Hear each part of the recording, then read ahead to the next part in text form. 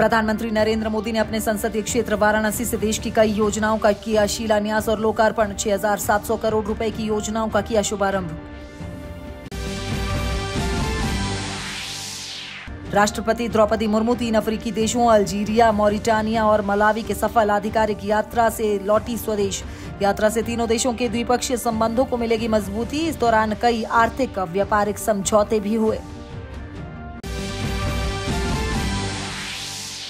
केंद्रीय शिक्षा मंत्री धर्मेंद्र प्रधान शिक्षा के क्षेत्र में द्विपक्षीय सहयोग बढ़ाने के लिए सिंगापुर और ऑस्ट्रेलिया के सात दिवसीय दौरे पर रवाना। दो दिन के सिंगापुर यात्रा के दौरान शिक्षा मंत्री, सिंगापुर के प्रधानमंत्री व वरिष्ठ नेताओं से करेंगे मुलाकात।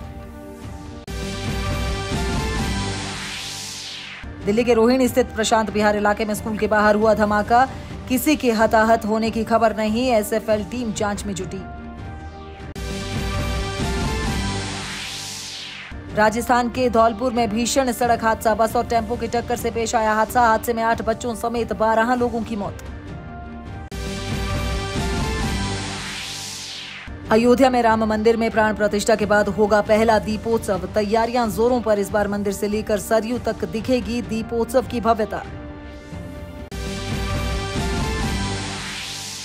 दिल्ली में लगातार खराब हो रहा हवा का स्तर, पंद्रह इलाके रेड जोन में। दिल्ली में वायु प्रदूषण के लिए पड़ोसी राज्य, हरियाणा, पंजाब में पराली जलाना मुख्य कारण। सख्त आदेशों के बावजूद पराली जला रहे किसान।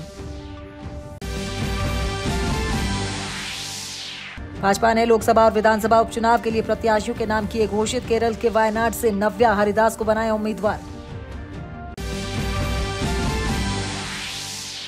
दिल्ली में आयोजित हाफ़ मैराथन में खेल राज्य मंत्री रक्षा खड़से ने लिया हिस्सा। कहा, इस तरह के आयोजन से देश विदेश तक जाता है फिट इंडिया का संदेश। लंबी दूरी के महान धावक युगांडा के जोशुआ चेप्टेगी ने दिल्ली में आयोजित वेदांता दिल्ली हाफ़ मैराथन में पुरुष वर्ग में जीत की दर्ज। महिला टी ट्वेंटी आईसीसी विश्व कप का फाइनल मुकाबला आज दुबई क्रिकेट स्टेडियम में साउथ अफ्रीका और न्यूजीलैंड होंगे आमने सामने